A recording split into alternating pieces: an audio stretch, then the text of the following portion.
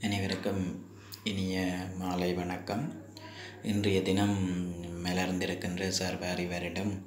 அனைவருக்கும் புதிய ஆக்கமும் ஊக்கமும் மனத்தைரியத்தையும் உளத்தைரியத்தையும் அளிக்க வேண்டும். குறிப்பாக எனது மாணவ செல்வங்களுக்கு நல்லதொரு பரீட்சை ஆண்டாக இது அமைய வேண்டும். குறிப்பாக பரீட்சையிலே அதி உன்னதமான நல்ல பெறுபேறுகளை பெற்றுக்கொள்வதற்கு ஏற்ற விதத்திலே அவர்களுக்கு இந்த வருடம் புதிய வருடமானது நல்ல ஆசிகளையும் நட் வாழ்த்துக்க நல்ல ஆசிகளை வழங்க வேண்டும் என எல்லாம் வல்ல இறை இறை பரம்பொருளை பிரார்த்தித்து இன்றைய தினம் உங்களுக்கு இந்த ஒரு நாள் வகுப்பாக இந்த புது வருடத்திலே நீங்கள் மனம் தைரியத்தை இழக்கக்கூடாது நீங்கள் சந்தோஷமாக இருப்பீர்கள் என்று நான் நம்புகிறேன். இருந்தாலும் அந்த படிக்க வேண்டும் என்கின்ற ஆர்வம் உங்களுக்கு நேர காணவில்லை.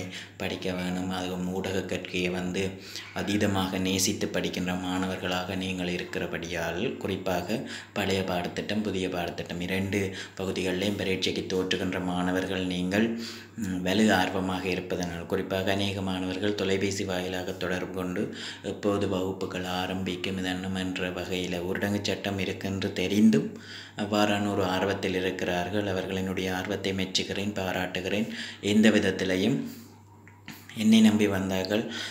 நீங்கள் அதாவது பரீட்சையில் உயர்ந்த பெறுபேறுகள் பெறுவதிலிருந்து தவற தவறுவதற்கு நான் இடம் அளிக்க மாட்டேன். அந்த வகையில் உங்களுக்கு கடைசி பரீட்சை நடைபெறுகின்ற அதற்குரிய இதற்குரிய தினம் அறிவிக்கப்படும் வரை என்னுடைய வகுப்புகள் என்னுடைய வடிவங்கள் விளக்கங்கள் நடைபெறும்.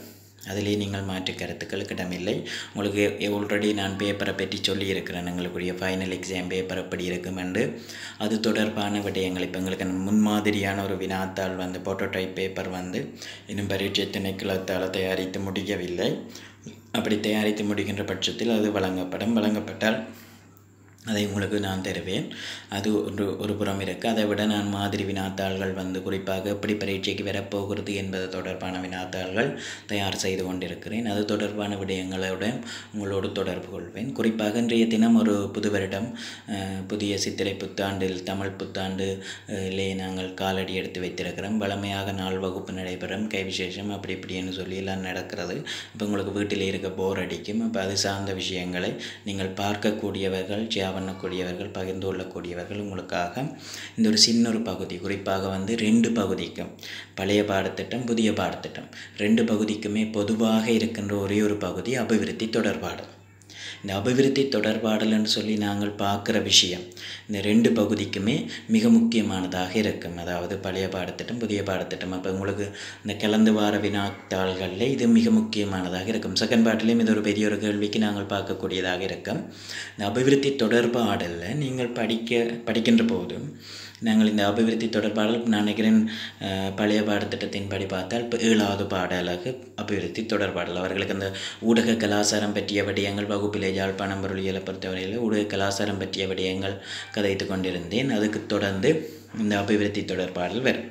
அதே மாதிரி புதிய பாடத்திட்டக்காரர் ரெண்டாயிரத்தி இருபதாம் ஆண்டு முதன் முதல் பரீட்சைக்கு தோற்ற போகிறாக்களுக்கு தான் புதிய பாடத்திட்டம். அப்போ அவர்களுக்கு வந்து இந்த அபிவிருத்தி தொடர்பாடல் வந்து ஒன்பதாவது பாடலகாக இருக்கிறது.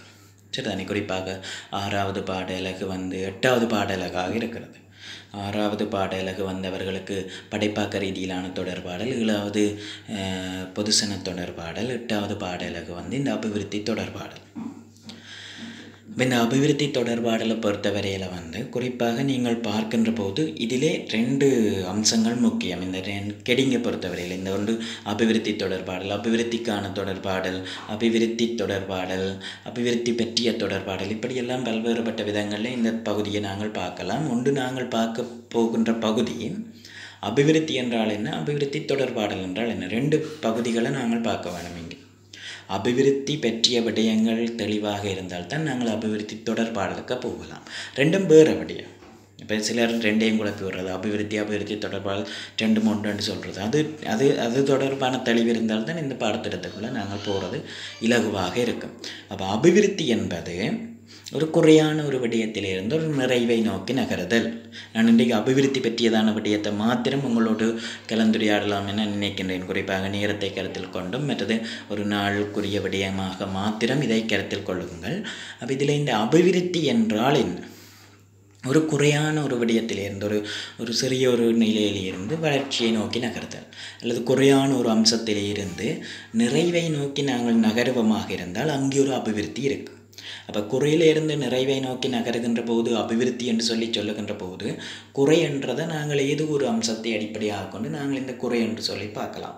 குறிப்பாக வந்து குறை என்று சொல்லி நாங்கள் பார்க்குற அம்சம் பிரதானமாக வந்து இப்போ உதாரணமாக மார்க்ஸ் இப்போ நீங்கள் ஒரு முப்பது மார்க்ஸ் எடுத்தீங்களா என்றால் அது ஒரு குறை என்று கருதினால் அதிலிருந்து நாற்பது மார்க்ஸ் எடுக்க வந்து அது ஒரு அபிவிருத்தி. இப்போ இந்த அறுபது எழுபது எண்பது தொண்ணூறுன்னு சொல்லி ஒரு அளவுகோல் ஒன்று இருக்குது அந்த அளவுகோலை நாங்கள் எட்டுகின்ற போது அது ஒரு அபிவிருத்தியாக இருக்கும். குறிப்பாக வந்து நீங்கள் இந்த அபிவிருத்தி பற்றி பல்வேறுபட்ட அறிஞர்களும் பல்வேறு விதமாக வரைவிலக்கணங்களை முன் வச்சிருக்கணும் குறிப்பாக எங்களோட துறை சார்ந்த அறிஞர்கள் வச்சிருக்கணும் குறிப்பாக வந்து அபிவிருத்தி பற்றி தனித்தனி துறை சார்ந்த அறிஞர்கள் இப்போ பொருளியல் சார்ந்த அறிஞர்கள் வச்சிருக்கணும். அபிவிருத்தியண்டா என்ன அளவுகோல்?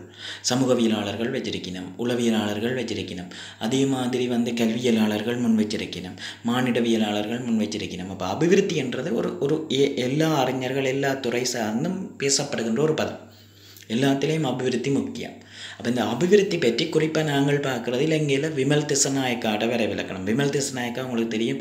அவரை பொறுத்தவரையில் வந்து இலங்கையிலே ஒரு மிக முக்கியமான ஒரு ஆள்.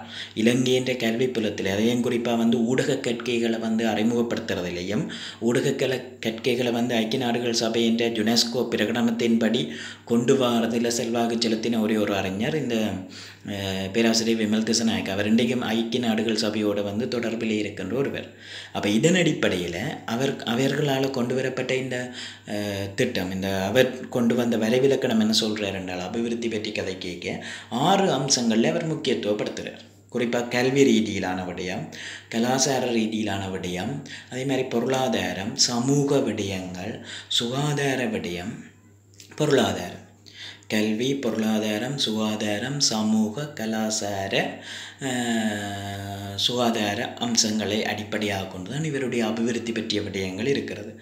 குறிப்பாக இந்த நிலையில் ஒரு சீரான ஒரு வளர்ச்சி நிலையை காட்டினால் அங்கே ஒரு அபிவிருத்தி இருக்கும் என்று சொல்லி இவர்களுடைய கருத்து. அதை விட டேனியல் லேனருடைய வரைவிலக்கணம் இருக்கிறது. பே- அதை விட குறிப்பாக வந்து அபிவிருத்தி பற்றிய விடயங்கள் போல்டி ஸ்டீவன் பேசியிருக்கிறார். அபிவிருத்தி பற்றி என்ன சொல்கிற வறுமையோ அப்படியான விஷயங்களை அடிப்படையாக கொண்டு பேசப்படுகிறது. போல்டி ஸ்டீவனால் முன்வைக்கப்பட்ட வரைவிலக்கணம். சரிதானே? அப்போ இந்த அபிவிருத்தி பற்றி பல்வேறுபட்ட விடயங்கள் குறை குறிப்பிடப்படுது. குறிப்பாக வறுமையிலிருந்து மீள்றதும் ஒரு அபிவிருத்தி தான். வறுமையிலிருந்து ஒரு டெவலப்பை காட்டுறதும் அபிவிருத்தி தான்.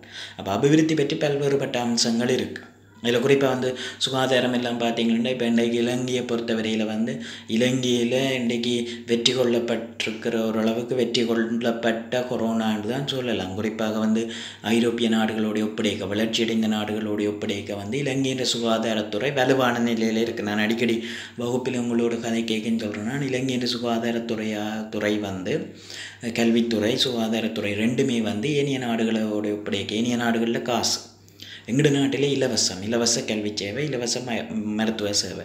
குறிப்பாக ஜாழ்ப்பாணம் வைத்தியசாலையை வச்சுக்கொண்டே சொல்கிறேன் நான் நிறைய விடயம் பொதுஜன அபிப்பிராயம் அதுகள் படிப்பு கேட்க சொல்கிறேன் நான் அப்படி வளர்ச்சி அடைந்த ஒரு நாடு. அதனால் இலங்கையில் கொரோனா வந்து கட்டுப்பாட்டுகளை வச்சு கிட்டத்தட்ட ஐம்பத்தி நாலு ஐம்பத்தஞ்சு நோயாளர்களை வந்து குணப்படுத்தி திருப்பி வீட்டுக்கு அனுப்பியிருக்கு. அப்போ அதிலே இலங்கை ஒரு வெற்றி கண்ட ஒரு நாடு. அப்போ அதன் அடிப்படையில் சுகாதார ரீதியிலே ஒரு முன்னேற்றகரமாக இருக்குது. அப்போ அது ஒரு அபிவிருத்தி குறைகாட்டி. எழுத்தறிவு வீதம் கூட இருக்கின்றால் அது ஒரு கல்வி நிலை ரீதியிலே அபிவிருத்தி குறைகாட்டி. இப்போ இதைத்தான் நாங்கள் அபிவிருத்தி என்று சொல்லி சொல்கிறோம் இப்போ அபிவிருத்தி என்னைக்க? ஒரு நிலையில இருந்து அடுத்த கட்ட நிலைக்கு வளர்ச்சி அடைது ஒரு ஒரு ஒரு அளவுகோல் நாங்கள் எட்டிக்கொள்கிறோம் என்றால் அங்கே ஒரு அபிவிருத்தி இருக்குது அப்போ இந்த அபிவிருத்தி பற்றிய சிந்தனை அல்லது அபிவிருத்தி பற்றிய கோட்பாடு அபிவிருத்தி என்ற எண்ணக்கருவை அடிப்படையாக கொண்டு குறிப்பாக உலக நாடுகளின் கோட்பாடுகள் கருத்தாக்கங்கள் விடயங்களை அடிப்படையாக கொண்டு ஒரு வரையறையை வச்சுக்கொண்டு அபிவிருத்தியை அடிப்படையாக கொண்டு நாடுகளை வகைப்படுத்தினோம் உலக நாடுகள். அப்போ உலக நாடுகளை வகைப்படுத்திக்க வந்து முதலாம் உலக நாடுகள் ரெண்டாம் உலக நாடுகள் மூன்றாம் உலக நாடுகள் என்று சொல்லி இந்த மூன்று வகைப்பாட்டுக்குள்ளே இந்த உலக நாடுகள் வகைப்படுத்தப்படுகிறது. அப்போ முதலாம் உலக நாடுகள் இரண்டாம் உலக நாடுகள் மூன்றாம் உலக நாடுகள் என்று சொல்லி இந்த மூன்று வகைப்பாட்டு கொண்டு வரைக்கும் உங்களுக்கு தெரியும். இந்த முதலாளித்துவ நாடுகள். முதலாம் உலக நாடுகளை நாங்கள் சொல்கிறோம் இந்த முதலாளித்துவ நாடுகள். இந்த முதலாளித்துவ நாடுகள் என்று சொல்லி சொல்லிக்க வந்து குறிப்பாக வந்து அமெரிக்கா தென்கொரியா போன்ற நாடுகள் எல்லாமே இந்த முதலாளித்துவ சிந்தனையுடைய நாடுகள். இன்றைக்கு முதலாளித்துவ நாடுகள் என்று சொல்லப்படுகிறது. அப்போ இந்த முதலாம் உலக நாடுகள். ரெண்டாம் உலக நாடுகள் என்று சொல்லி நாங்கள் சோசலிச நாடுகளை சொல்கிறோம் குறிப்பாக உங்களுக்கு நல்லா ஞாபகம் பெறும் இனி சைனா. சைனா வந்து இந்த கொரோனாவால் பெரிய ஃபேமஸ் ஆயிட்டுது. என்ன விதத்தில் ஃபேமஸ் ஆகிட்டோ தெரியாது. ஆனால் இது ஒரு விதத்தில் வந்து இன்றைக்கு சைனா வந்து உற்பத்தி நாடு அது அதை உற்பத்தி செய்ததோ அல்லது என்ன செய்ததோ தெரியாது. ஏதோ ஒரு விதத்தில் சைனா ரஷ்யா போன்ற நாடுகள் வந்து ரெண்டாம் உலக நாடுகள் சோசலிச நாடுகள்னு சொல்லப்படுது. மூன்றாம் உலக நாடுகளை நாங்கள் பிரித்து பார்க்குறோம். இப்போ எங்களுக்கு ஸ்டடீஸில் இப்போ கொண்டு வரப்பட்ட வகைப்பாடு மூன்று. அப்போ அதில் முதலாம் உலக நாடுகள் உங்களுக்கு தெரியும். இப்போ முதலாளித்துவ சிந்தனையுடைய நாடுகள் அனைத்துமே முதலாம் உலக நாடுகள். ரெண்டாம் உலக நாடுகள் உங்களுக்கு தெரியும். சோசலிச கொள்கையுடைய நாடுகள் அனைத்துமே ரெண்டாம் உலக நாடுகள். மூன்றாம் உலக நாடுகளை நாங்கள் இரண்டாக வகைப்படுத்துவோம். அது என்னுடைய வகைப்பாடு இன்னும் ரெண்டாக வகைப்படுத்தினான் நான் எப்படி என்றால் அபிவிருத்தி அடைந்த வெறும் நாடுகள் மற்றது வந்து அபிவிருத்தி அடைய முடியாத நாடுகள் அல்லது குறிப்பாக வந்து அபிவிருத்தி அடைய முடியாத சிந்தனை அல்லது அபிவி குறைவிருத்தி நாடுகள் என்று சொல்லுவார்கள். அப்போ இது குறிப்பாக வந்து இப்போ இல்லை. குறைவிருத்தி நாடுகள்ன்றதை இப்போ அவங்க சொல்கிறாங்களே என்னென்ன எல்லாமே அபிவிருத்தி அடைந்து வரும் நாடுகள் என்ற வகைப்பாட்டுக்குள்ளாம் கொண்டு வரலாம் இருந்தாலும் நான் அதை இலகுபடுத்துறதுக்காக ரெண்டு விதத்தில் சொல்லலாம். ஒன்று வந்து அபிவிருத்தி அடைந்து வரும் நாடுகள் இலங்கை போன்ற நாடுகள். அது உங்களுக்கு தெரியும். அது இலங்கை எப்போவுமே நாங்கள் படிக்கைக்கும் அபிவிருத்தி அடைந்து வரும் நாடு தான் நீங்கள் படிக்கைக்கும் அபிவிருத்தி அடைந்து வரும் நாடு தான் இனி வருகின்ற ஆக்களுக்கு நீங்கள் படிப்பிக்கைக்கும் அபிவிருத்தி அடைந்து வரும் நாடு தான் அது இப்போ அபிவிருத்தி அடைந்த நாடுகளாக மாறும் என்றது எங்களுக்கும் தெரியாது உங்களுக்கும் தெரியாது. ஆனால் சிலது கூட கையில் சிலது அது வரலாம் அபிவிருத்தி அடைந்த நாடாக மாற்றக்கூடியவர்களாக நீங்கள் தான் இருக்கலாம். ஏனென்றால் எதிர்காலத்தில் நாட்டை ஆளப்போகிறார்கள் இந்த இதுக்குள்ளே இருக்கிற இந்த மாணவர்கள். அப்போ இதில் குறிப்பாக வந்து இந்த இலங்கையை பொறுத்த வரையில் வந்து அபிவிருத்தி அடைந்து வரும் நாடுகளுக்குள்ளே வரும் இலங்கை இந்தியா போன்ற இந்த ஆசிய வெளிய நாடுகள் எல்லாமே இதுக்கு வரும் குறைவிருத்தி நாடுகளுக்கு லத்தீன் அமெரிக்க கண்டத்தில் இருக்கிற நாடுகள் மற்றது வந்து ஆப்பிரிக்க வெளிய நாடுகள் எல்லாமே ஆப்பிரிக்க வெளியத்தில் பின்தங்கிய பிரதேசங்களில் குறிப்பாக வந்து ஆப்பிரிக்காவை பொறுத்தவரையில் வந்து ஆப்பிரிக்காவில் சவுத் ஆப்பிரிக்கா மட்டும்தான் ஒரு அபிவிருத்தி அடைந்த நாடு. மே ஏனைய நாடுகள் எல்லாமே அபிவிருத்தி அடையாத நாடுகள். அப்போ இந்த அபிவிருத்தி அடைய முடியாத அதுலேயும் சோமாலியா இப்படியான பிரதேசங்கள் எல்லாமே இந்த குறைவிருத்தி நாடுகளுக்குள்ளே வரும். லத்தீன் அமெரிக்க கண்டத்தில் இருக்கிற நாடுகள் எல்லாமே இதுக்குள்ளே வரும். அப்போ இந்த இந்த இந்த வகைப்பாடு என்னத்தை வச்சு கொண்டு வந்தது? அபிவிருத்தி செயற்பாட்டை வச்சுக்கொண்டு வந்தது முதலாளித்துவ நாடுகள் முதலாம் உலக நாடுகள் சோசலிச நாடுகள் ரெண்டாம் உலக நாடுகள் மூன்றாம் உலக நாடுகளை நாங்கள் அபிவிருத்தி அடைந்து வரும் நாடுகள் அபிவிருத்தி அடைய முடியாத நாடுகள் என்று சொல்லி ஐந்து வகையில் நான் இப்போ பார்க்குறேன் அப்போ இந்த இந்த வகைப்பாடு என்னத்தை வச்சு கொண்டு வந்தது அபிவிருத்தி என்கின்ற ஒரு பதத்தை அடிப்படையாக கொண்டு வந்தது இப்போ நாங்கள் இந்த அபிவிருத்தி என்றது இதைத்தான் சொல்லப்படுது அதாவது ஒரு நாட்டில் ஏதோ ஒரு அளவுகோல்கள் இருக்குது குறிப்பாக வந்து இப்போ ஐரோப்பிய நாடுகளும் மேலத்திய நாடுகள் எல்லாத்தையும் அபிவிருத்தி அடைந்த நாடுகள் என்றோம் அதுக்குள்ளேயும் அவை சொல்லினோம் இப்போ முதலாளித்துவ நாடுகள் ரெண்டா ரெண்டாம் உலக நாடுகள் சோசியலிசம். ரெண்டு வகைப்பாடுமே அபிவிருத்தி அடைந்த கட்டக்கரைக்கு வர மூன்றாவது வகைப்பாடுகளுக்கெல்லாம் நாங்கள் நிற்கிறோம். இப்போ இது இது வடிவாக தெளிவாக விளங்க விளங்கணும். ஏதாவது வந்து அபிவிருத்தி என்றால் என்ன? அபிவிருத்தி ஏன் எங்களோட நாட்டில் வந்து அபிவிருத்தி என்ற பதம் என்னத்தை அடிப்படையாக கொண்டது? அப்போ அதை தெளிவாக நாங்கள் விளங்கி கொண்டவென்றால் அங்கால நாங்கள் அபிவிருத்தி தொடர்பாடல் பற்றி படிக்கிறது ஈஸியாக இருக்குது அப்போ எங்கட நாங்கள் ஒன்று பேசிக்காக நீங்கள் விளங்கிக் கொள்ளணும் அபிவிருத்தி வேறு அபிவிருத்தி தொடர்பாடல் வேறு.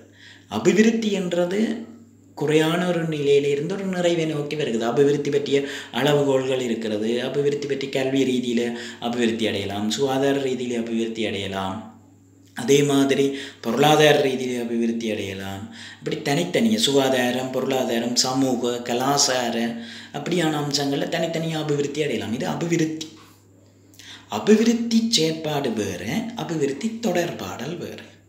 இந்த அபிவிருத்தி செயற்பாட்டுக்கும் தொடர்பான அபிவிருத்தி ஆரம்ப காலகட்டங்களில் இருந்தே இருந்தது. மனிதன் ஆரம்பத்தில் புராதன காலகட்டத்தில் எப்படி இருந்தான் பேருந்து அவன் மொழியை பயன்படுத்தினான் பிறகு தான் அப்படி தொடர்பாடல் வளர்ச்சி அடைந்தது விருத்தி அடைந்தது போல அபிவிருத்தியும் ஆரம்பத்தில் உலகில் உயிரினங்கள் தோற்றம் பெற்ற காலகட்டத்தில் இருந்தே இருந்தது. ஆனால் அபிவிருத்தி தொடர்பாடல் ஆரம்பத்தில் இருந்து இருக்கையில் அபிவிருத்தி தொடர்பாடல் எப்போ தோற்றம் பெற்றது? அது குறிப்பாக அண்மையில் மிக அண்மையில் தோற்றம் பெற்ற ஒரு பதம்தான் இந்த அபிவிருத்தி தொடர்பாடல். அப்போ நாங்கள் வடிவாக விளங்கி கொள்ளணும் அபிவிருத்தி வேறு அபிவிருத்தி தொடர்பாடல் வேறு. அப்போ இதை நீங்கள் வடிவாக விளங்கி கொண்டீங்கள் என்றால் அங்கால போகிற அபிவிருத்தி தொடர்பாடல் பற்றிய விடயத்தை நாங்கள் பார்க்கலாம். சரி அப்போ இன்றைய தினம் இன்றைக்கு இந்த மலர்ந்திருக்கின்ற சார்வரி வருடம் உங்களுக்கும் உங்கள் குடும்பத்தினருக்கும் உங்கள் குடும்பத்தின் உறவுகள் உங்கள் நண்பர்கள் அயலவர்கள் சுற்றத்தவர் எல்லாருக்கும் இந்த நல்ல ஒரு ஆண்டாக இது அம அமைய வேண்டும். இதுவரை காலமும் நாங்கள் படுகின்ற துன்பங்கள். சிலருக்கு அது சந்தோஷமாக இருக்கலாம். வீட்டுக்குள்ளே இருந்து சிலருக்கு அலுப்பு தட்டலாம். சிலர் நீங்களெல்லாம் படித்து கொண்டிருந்திருப்பீங்களா. எனக்கு அதில் நம்பிக்கை இருக்கிறது. நீங்கள் நல்லா படித்து இதாண்டு இப்போ முழு விடயங்கள்லேயும் தேறி இருப்பீர்கள் என்றதில் நான் நூற்றுக்கு நூறு வீதம் நம்புகிறாள். அந்த வகையில் நீங்கள் நல்ல விதத்தில் இதை பிரயோஜனப்படுத்தி இருப்பீர்கள். இனி வருகின்ற காலகட்டங்கள் குறிப்பாக வந்து ஏப்ரல் இருபதாம் திகதி அளவில் இந்த வகுப்புகள் ஆரம்பிப்பதற்கான ஒரு வாய்ப்புகள் தென்படுகிறது. குறிப்பாக இனி யாழ்குடா நாடு வந்து இந்த கொரோனா தொற்று அதிலிருந்து மீண்டு கொண்டு வந்திருக்கின்றபடியால் பெரும்பாலும் ஊரடங்கு சட்டங்கள் ஓரளவுக்கு நீக்கப்பட்டு இந்த வகுப்புகள் ஆரம்பிக்கப்படுகின்ற பட்சத்தில் இது தொடர்பான மேலதிக விளக்கங்கள் விரிவான விளக்கங்களோடு உங்களுக்கான வகுப்புகள் அதிதுரிதமாக நடைபெறும். இந்த வருடம் கட்டாயம் ஆவணி மாதம் பரீட்சை நடைபெறும் என கல்வி அமைச்சு அறிவித்திருக்கிறபடியால் குறிப்பாக அவர்களினுடைய அறிவிப்பின் பிரகாரம் பிற்பகுதி. இப்போ ஏ லெவல் சிலபஸுக்கு இருக்கிற பிற்பகுதிகளை நீக்கி விட்டுட்டு பரீட்சைக்குரிய வினாத்தால் தயாரிக்கும் பணிகளில் ஈடுபடினோம். அப்போ அதனால் பிற்பகுதிகளில் நாங்கள் பெருசாக கவனம் செலுத்தாத விட்டாலும் இந்த பகுதிகளில் கவனம் செலுத்தி இந்த பரீட்சையை வெற்றி கொள்ளலாம். உயர்தரமான ஊடக கற்கை பருவரை பெற்றுக்கொள்வது தான் எங்களுடைய உன்னதமான நோக்கம். அதன் அடிப்படையில் இழந்த கல்வியை நாங்கள் மீட்டுக்கொள்ளுவோம் பயப்படுத்தவையில் பயப்பட தேவையில்லை. நீங்கள் ஒரு மன தைரியத்தோடு இருந்து தொடர்ந்து படித்து கொண்டிருக்க வேண்டும். இன்னும் ஒரு சொற்ப நாட்களை. குறிப்பாக வந்து இந்த மாதம் இந்த ஏப்ரல் மாதம் விட்டால் மே ஜூன் ஜூலை மூன்று மாதங்கள் இருக்கின்றன. மூன்று மாதங்கள் என்றால் என்னுடைய கணக்கின்படி தொண்ணூறு நாட்கள். இந்த தொண்ணூறு நாட்களையும் நீங்கள் பிரயோஜனப்படுத்திக் கொள்ளுங்கள். கட்டாயம் இனி வருகின்ற நாட்கள் உங்களுக்கு ஒரு மிக முக்கியம் இந்த தொண்ணூறு நாட்கள் இன்றிலிருந்து நீங்கள் வீட்டிலே படிக்க வேண்டும். இந்த புது வருட பிறப்புக்கு முன்னிட்டு இதிலிருந்து நீங்கள் படிக்கணும். குறிப்பிட்ட டைம் நான் அடிக்கடி சொல்கிறேன் நான் இரவு ஒரு பத்து பத்தரை மட்டும் பதினோரு மணி மட்டும் படியுங்க. ஆறு மணிக்கு துவாங்கினா விடிய மூன்று மணி கிளம்பி படியுங்க. இப்போ பகல் படிக்கலாம். நல்ல மரத்துக்கு கீழே போயிருந்து நல்லபடியாக கோப்பி புத்தகத்தை வச்சு படிக்கலாம். வீட்டில் உங்களுக்கு தொந்தரவு தர மாட்டினோம் நல்ல வடிவாக இருக்கிற விடயங்கள் அந்த எல்லாத்தையும். இப்போ உங்களுக்கு படிப்பிச்ச விஷயங்கள் அந்த எல்லாத்தையும் பழைய பாடத்திட்டமும் சரி புதிய பாடத்திட்டமும் சரி படித்தீர்கள் என்றால் உங்களுக்கு நல்ல உயர்ந்த பருவேறு கிடைக்கும். கிட்டத்தட்ட பிக்குரிய பகுதிகள் அனைத்தும் படிப்பித்து விட்டேன். பி பி பெறுவரை நீங்கள் பெற்றுக்கொள்வதற்குரிய பகுதிகள் அனைத்தும் படிப்பிக்கப்பட்டு விட்டது. இனி படிப்பிக்க போகிறதே பெறுவர்களுக்குரிய மாத்திரம். ஒருத்தரும் ஃபெயில் விட தேவையில்லை. இப்போ நீங்கள் அதை மீட்டு மீட்டு மீட்டு திருப்பி திருப்பி படித்தீர்களா இருந்தால் நல்ல உயர்ந்த பெறுபவர்களை பெற்றுக்கொள்ள முடியும். அப்போ இந்த வருடம் உங்களுக்கு நல்ல ஆசிகளையும் நல்ல சமாதானம் நல்ல சூழல் நல்ல புரிந்துணர்வு கிட்டத்தட்ட புதிய டெக்னாலஜியை நீங்கள் பெற்றிருக்கிறீர்கள் இந்த இந்த சூழலில். உண்மையில் நானும் கூட நிறைய விஷயங்களை கற்றிருக்கிறேன். இந்த கொரோனா சூழலுக்குள்ளே வீட்டுக்குள்ளே இருந்து மாகாண கல்வி திணைக்களம் வந்து பரீட்சை வினாத்தாள்கள் இதுகளை தயாரிக்கிற பணியை தந்திருக்கு அதே நேரம் உங்களுக்கு இந்த ஆப்ஸ் குறிப்பாக வந்து இந்த கூகுள் கிளாஸ் ரூம் ஆப்ஸில் வந்து நிறைய இன்றைக்கி கொழும்பிலிருந்து ஜாயின் பண்ணியிருக்கணும். அம்பாறை மட்டக்களப்பு கேகால பண்டாரவளை அப்படி நிறைய பிரதேசங்களிலிருந்து தமிழ் பிரிவு மாணவர்கள் இணைந்திருக்கிறார்கள். அவர்களையும் வரவேற்று குறிப்பாக வந்து அவர்களுக்கும் என்னுடைய இந்த பணி தொடரும். பிரச்சனை இல்லை. தமிழ் மூலத்தில் மாணவர்கள் எதிர்நோக்குகின்ற இந்த பெறுபேறுகள் வந்து அதாவது மீடியா பாடத்தில் வந்து குறைந்தளவான பெறுபேறுகளை பெற்றுக்கொண்டிருக்கின்ற நிலை மாறி அதிகூடியளவான பெறுபேறுகள் பெற்றுக்கொள்வதற்கு நானும் அவர்களுக்கு பக்க துணையாக இருப்பேன் என கூறி இந்த இந்த செயற்பாடு இது. வகுப்புகள் துவங்கினாலும் தொடரும். ஏனென்றால் இதில் நாங்கள் வினாத்தாள்கள் மேலதிகமான விடயங்களை பகிரலாம். அதே நேரம் குறிப்பாக காப்பதோ உயர்தரத்தை பொறுத்தவரையில் நான் அடிக்கடி சொல்கிறது போல் எந்த பாடம் மட்டும் படித்தா காணாது. மூன்று பாடத்தையும் படியுங்க. மூன்று பாடத்துக்கும் நேரத்தை ஒதுக்குங்க. அந்த நேரத்தை ஒதுக்கி நீங்கள் படிக்கின்ற போது அதுக்குரிய சிறந்த பெறுபேரை பெற்றுக்கொள்ளலாம். மனத்தை தளர விடாதீங்க. கட்டாயம் எல்லாரும் செகண்ட் சையில் வந்தார்கள் பாடம் மாறி வந்தார்கள் எல்லாருமே சாதனை படைக்கிற ஒரு துறை. அதை மீண்டும் மீண்டும் சொல்லிக்கொள்கிறேன் அடிக்கடி வகுப்பில் சொல்கிறேன் நான். நீங்கள் பயப்பட தேவையில்லை. உங்களுக்கு போதிய அளவான நோட்ஸுகள் ஆதாரங்கள் இருக்குமென்னு நினைக்கிறேன். அதை நீங்கள் படியுங்க திருப்பி மேலதிகமான விடயங்கள் நான் தருவேன். பயப்பட தேவையில்லை. தொடர்ந்தும் இந்த இதில் நான் நாளைக்கு அபிவிருத்தி தொடர்பாடல் பற்றிய விடயங்களை பார்க்கலாம். அது தொடர்ந்தும் இதை நாங்கள் படிப்பிக்கக்கூடியதாக இருக்கும். நாளை இதிலே அபிவிருத்தி தொடர்பாடல் பற்றிய அம்சங்களோடு உங்களை சந்திப்பேன். அதிலே குறிப்பாக வந்து இந்த முறை எப்படியான விஷயங்கள்? குறிப்பாக ரெண்டு விதங்கள்லேயும் இருக்குது. பழைய புதிய பாடத்திட்டத்துக்கு எப்படி வருமன்றது அது தொடர்பான விடயங்கள். அபிவிருத்தி தொடர்பாடலின் அறிமுகம் விளங்கிச்சதென்றால் மிகுதி உங்களுக்கு இலகுவாக இருக்கும் என கருதி கொள்கிறேன் அதன் அடிப்படையில் அதை பற்றிய விடயங்களை நாளைய தினம் உங்களோடு சிந்திப்பாம் என்று கூறி உங்களிடமிருந்து விடைபெற்றுக் கொள்ளும் நான் என்றும் உங்கள் ஊடகவியல் ஆசிரியர் என். காட்சிதரன் நன்றி வணக்கம்.